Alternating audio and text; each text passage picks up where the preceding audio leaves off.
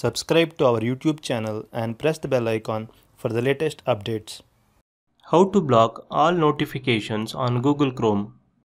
Open Google Chrome browser on your computer. Click on the three dot icon located at the top right corner of the page. Go to Settings.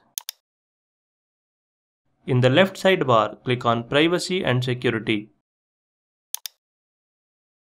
Under Privacy and Security section, click on Site Settings. Scroll down to Permissions section. Click on Notifications. Toggle the button to turn it off.